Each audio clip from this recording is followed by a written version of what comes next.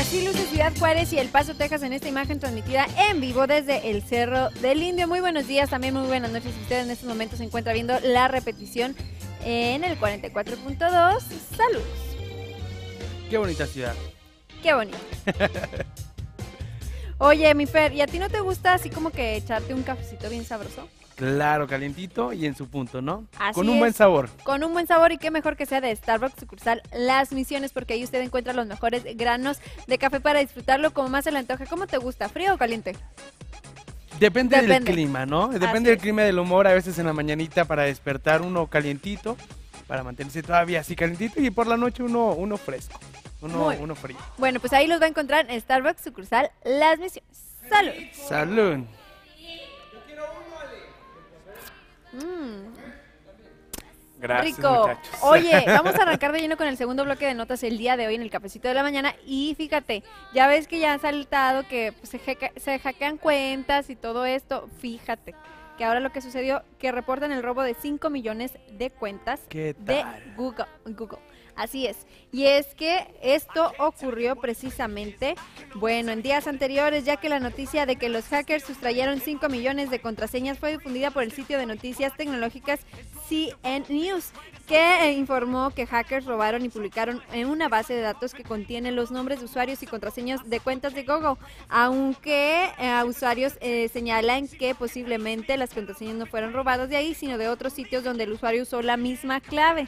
Es posible descargar una base de datos con las cuales pues los afectados, aunque sin las contraseñas, se pueda especular y que quien las tenga espera venderlas. Así que bueno, pues mucho cuidado, ¿eh? Mucho cuidado, por ejemplo, si tienen la misma contraseña en Facebook o en otra eh, es es- aplicación. Es, recomendable estarlas cambiando, Cambiando cada rato y no tener la misma en todas, porque puede ocurrir esto y, y tiene, hay gente que tiene muchísima información muy importante en este tipo de cuentas, que mucha gente pensaría Google, bueno, nada más es para buscar artículos o, o cosas, pero no, es para mantener una cuenta que te sincroniza. todo. todo. Exactamente, así es que mucho cuidado. Tener muchísimo cuidado. Pero bueno, vámonos a la otra nota para todos los fans de los cómics y de las películas. Bueno, salen a la luz nuevas imágenes, las primeras imágenes del Batimóvil. Mira, ahí están. Este es el Batimóvil que va a aparecer próximamente en la película de Batman vs. Superman. Y aunque ya se habían difundido una primera idea del aspecto del nuevo Batimóvil gracias a unas imágenes compartidas de forma oficial por el director Zack Snyder, ahora ya se puede contemplar el definitivo vehículo del superhéroe. Gracias a los usuarios Batman News y a Macro 13 a través de la red social de Instagram. Las primeras fotografías eh, tomadas en las afueras de Detroit dejan entrever que una de las características del nuevo, eh, del nuevo auto del hombre murciélago puede, puede adoptar diferentes formas en función de las necesidades del conductor. En este caso de Batman, porque yo creo que es el único que va a manejar este, este carro, al parecer podría estar compuesto de una, de una materia que permite que las piezas se recojan y se desplieguen para cambiar su aspecto. Ahí está.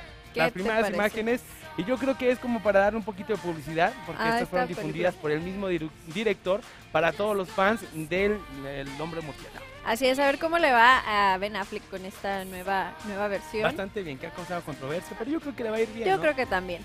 Y fíjate que ahora vamos a hablar de Facebook precisamente y lo que es, bueno, hablamos en el primer bloque de notas de lo que es la discriminación. Muchas veces, bueno, pues en estos momentos Facebook le cierra las puertas a una persona que estaba publicando porque considera ofensiva la foto de un niño que necesita un trasplante. Y es que el intento de un padre por hacer conocer el caso de su bebé que necesita un trasplante tuvo una respuesta poco compasiva de Facebook.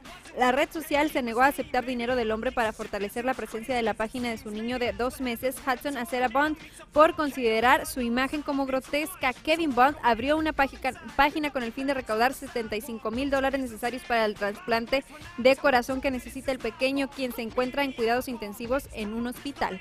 Sin embargo, cuando el padre intentó pagar 20 dólares a Facebook para que su página tuviera una mejor exposición en la red social y llegara a más personas que pudieran la compañía rechazó su dinero. La red social le envió un mensaje donde le explicó que la foto de su niño asusta, es gráfica e también sensacionalista y recordó que incluir fotos de accidentes, muertos o cuerpos desmembrados, fantasmas, zombies y vampiros no está permitido. Híjole. Ay, pues bastante Sí, difícil, poco, ¿no? poco sensibles, porque realmente, imagínate la desesperación del papá para alcanzar los fondos para poder hacerle la cirugía a su niño. No creo que lo haya hecho de manera para que la gente se asuste ni. Claro, o sea, ni no, se- no, ni no por era, no morbo. era el fin, no era Claro. asustar, era simplemente, yo creo que hasta en un acto desesperado. Claro, claro. Desesperado tratas de juntar dinero de, de, De donde sea. de donde sea y, y, bueno, la red social de Facebook y otras redes sociales es una buena manera de llegar a muchísima gente en muy poco tiempo. Pero bueno, el tema del matrimonio entre las mismas eh, personas del mismo sexo sigue avanzando y en esta ocasión dos mujeres aprovecharon para casarse después de 72 años de relación. Se casaron por la iglesia. Más de siete décadas después de comenzar su relación, Vivian Boyack y Alice Noni Dube se casaron. Vivian de 91 años y Alice de 90. Unieron sus vidas en matrimonio el pasado sábado, reportó el Quad City Times. Esta es una celebración de algo que debió haber pasado hace mucho tiempo, dijo la pastora Linda eh, a un pequeño grupo de personas y familiares que atendió a la ceremonia. Ambas se conocieron en Yale, Iowa, donde crecieron. Entonces se mudaron a Davenport en 1943, donde Vivian fue maestra y Alice fue empleada. Alice afirma que las dos han recorrido todo Estados Unidos durante su vida, además de todas las provincias de Canadá y han ido a Inglaterra un par de veces. Según Vivian, es difícil mantener una relación de amor y trabajo tanto tiempo, pero no imposible. Iowa legalizó el matrimonio de personas del mismo sexo en el año 2009. Las dos mujeres afirman que nunca es tarde para comenzar un nuevo capítulo en su vida. 72 años de relación. Imagínate, y ya pues una de 90 años y la otra de 91. L- A mí, a mí me causa mucha emoción porque al final de cuentas van a realizar lo que siempre quisieron. Exactamente. Ya sea, como decimos, más vale tarde que nunca, pero pues ahí lo están Y haciendo. sea a la edad que sea, Claro. es un nuevo capítulo, como ella dice. Es una nueva forma de vivir. Ya hay algo firme que las está uniendo, algo, algo legal, algo aparte del amor y el cuidado que se tenían una por la otra, ahora ya es oficial. Exactamente. Muchísimas pues, felicidades. Bien por ellas, muy bien por ellas. Y fíjate que estas imágenes impactantes, mi Fer, porque una mujer se salva de, pues de, pues de fallecer y esto gracias porque fíjate, se quiso suicidar, se quiso aventar de un onceavo piso y la salva el techo de un automóvil. Y es que esta mujer que saltó desde un onceavo piso de un hospital con la intención de suicidarse se salvó milagrosamente tras caer sobre el toldo de una camioneta que estaba estacionada en la calle.